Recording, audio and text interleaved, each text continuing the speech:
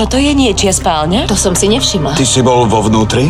A koho to bol dom? Nikoho. 10-ročný chlapec zmizol. Videla si Anthonyho odchádzať zo školy? On ešte nie je doma. Prvé stopy Anthony je šťastné, spokojné dieťa. Urobili sme všetko preto, aby sme mu to uľahčili. Je to šťastný chlapec. začnú odhaľovať strašné tajomstvo. Ostaňme pokojní. Tie povýšenecké reči si nechajte. Upokojím sa, keď nájdete môjho vnuka. Nezvestný. Piatok o 20.10 na Wow.